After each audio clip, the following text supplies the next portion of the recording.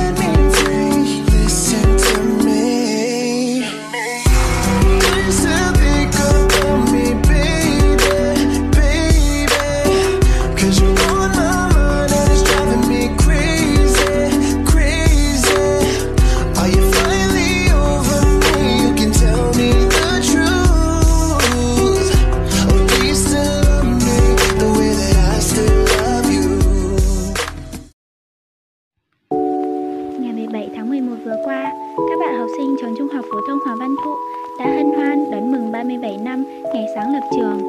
Là một học sinh đang ngồi trên ghế nhà trường năm thứ ba, em sẽ cố gắng hết sức để hoàn thiện bản thân, trao dồi kiến thức từ sách vở và thực tiễn để trở thành con ngoan trò giỏi của thầy cô giáo, người đã tâm huyết truyền đạt và giảng dạy em trong những tháng ngày học tập dưới mái trường thân thương. Thêm vào đó, em sẽ tích cực tham gia các phong trào của lớp, của trường, của các đoàn thể để giúp cho môi trường Hoàng Văn Thụ của chúng ta ngày càng phát triển hơn.